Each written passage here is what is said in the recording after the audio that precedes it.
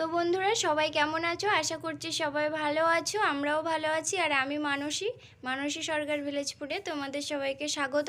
তো আজকে আমি তোমাদের সাথে শেয়ার করব গাজরের লাড্ডু রেসিপি তো আশা করছি এই রেসিপিটা তোমাদের ভালো লাগবে। যদি ভালো লাগে বন্ধুরা লাইক কমেন্ট শেয়ার করো। আর যদি নতুন হয়ে থাকো, চ্যানেলটা সাবস্ক্রাইব করে দিও বন্ধুরা। তো দেখো, আমি সবার প্রথমে গাজর নিয়েছি, এখানে চারটে গাজর নিয়ে নিয়েছি। প্রথমে আমি গাজরের গায়ে ছালগুলিকে খুব ভালোভাবে ছিলে পরিষ্কার করে নিয়েছিলাম যাতে গাজরের গায়ে কোনো রকম নোংরা না থাকে। তারপরে ধুয়ে নিয়েছি, নিয়ে আমি গ্রেটারের সাহায্যে গ্রেট করে নিয়েছি তো দেখো বন্ধুরা, গ্রেট করা হয়ে গেছে, খুব সুন্দর লাগছে দেখতে। এখানে আমি একটা কড়াই বসিয়ে দিয়েছি, কড়াইতে দিয়ে দেব সাদা তেল। এখানে ঘিয়ের পরিমাণ বেশি লাগে, সেই জন্য আমি প্রথমে সাদা তেল দিয়ে দিলাম। সাদা তেল দিয়ে গরম করে নিয়েছি, এবারে আমি ঘি দিয়ে দেবো। এক চামচ মতো ঘি দেবো। ঘি দিয়ে তেল আর ঘি একসাথে আরও ভালো করে গরম করে নিয়েছি। এবারে আমি যে গাজরগুলিকে গ্রেট করে রেখেছিলাম দিয়ে দেব। এবারে খুব ভালোভাবে নেড়ে দেব। খুব ভালোভাবে নেড়ে দিতে হবে।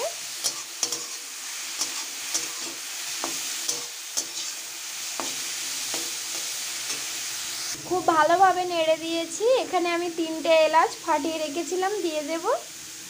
আর এখানে আমি দিয়ে দেব এবারে দুধ। আমি এক গ্লাস দুধ নিয়েছি, দিয়ে দিচ্ছি দুধ। দুধের পরিমাণটা আমি কিন্তু বেশিই দিয়েছি বন্ধুরা। নেড়ে দেব।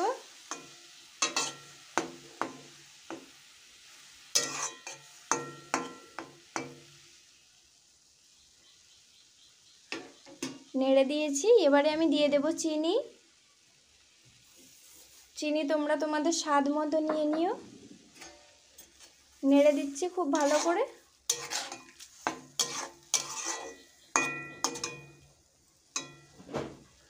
এবারে আমি দিয়ে দেব পরিমাণ মতো একটু লবণ দিয়ে দিচ্ছি।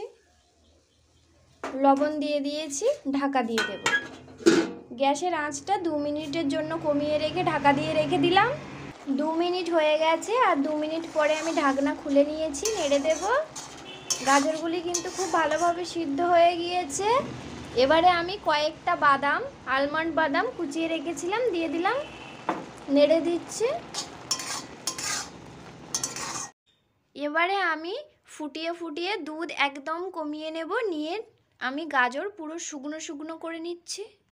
ডোটা যদি পুরোপুরি শুকনো শুকনো না করা হয়, তাহলে কিন্তু লাড্ডুর শেপ দেওয়া যাবে না বন্ধুরা। গ্যাসের জোরটা বাড়িয়ে দিয়েছিলাম, দিয়ে দুধ কমিয়ে নিয়েছি। এবারে আমি আরও একটু জাল দিয়ে শুকনো শুকনো করে নেব।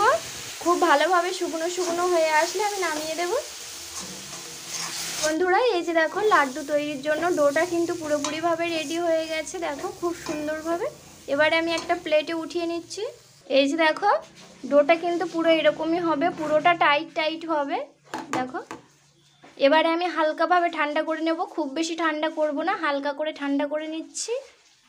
তো বন্ধুরা, এই যে দেখো, ডোটা করে নিয়েছি, আর একটু ঠান্ডা হয়ে গেছে, এবারে আমি হাতে একটু ঘি নিয়ে নেব। এই যে, অল্প পরিমাণে ঘি নিয়েছি, হাতে মেখে নিয়েছি, এবারে আমি নিয়ে নেব হাতের মধ্যে। এই যে এবারে লাড্ডুর শেপ দিয়ে নেব খুব সুন্দরভাবে।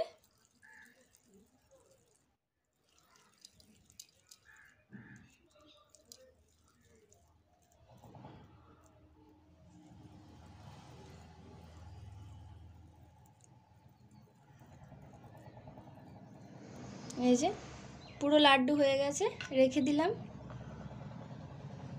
আরও একটা করে তোমাদের দেখিয়ে দেবো, আবারও হাতে একটু ঘি লাগিয়ে নিয়েছি। নিয়ে নেব হাতের মধ্যে। খুব হালকাভাবে করতে হবে, নাহলে কিন্তু ভেঙে যাবে। এই যে। তো এইভাবে আর যে কটা রয়েছে আমি করে নিয়ে তোমাদের সাথে শেয়ার করছি। তো বন্ধুরা, এই যে দেখো, সবগুলি লাড্ডুর শেপ দিয়ে আমি লাড্ডু তৈরি করে নিয়েছি। তো রেডি হয়ে গেছে গাজরের লাড্ডু। দেখো, খুবই সুন্দর লাগছে দেখতে। এটা কিন্তু খেতেও খুবই টেস্টি হয়। আমার রিকোয়েস্ট রইল, তোমরা বাড়িতে অবশ্যই একবার বানাও। আর আমি ওপর থেকে একটু বাদাম দিয়ে দিয়েছি। তো বন্ধুরা, যদি আমার এই লাড্ডুর রেসিপি তোমাদের ভালো লাগে লাইক কমেন্ট শেয়ার করো। আর যদি আমার চ্যানেলে নতুন হয়ে থাকো চ্যানেলটা সাবস্ক্রাইব করে দিও বন্ধুরা। দেখো, খুবই সুন্দর হয়েছে। তো সবাই ভালো থেকো, সুস্থ থেকো। আজকে এখানেই শেষ করছি। দেখো।